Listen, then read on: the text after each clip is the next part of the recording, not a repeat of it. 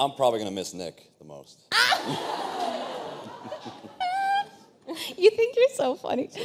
Uh, what would I miss the most? I think um, someone planning romantic dates for me.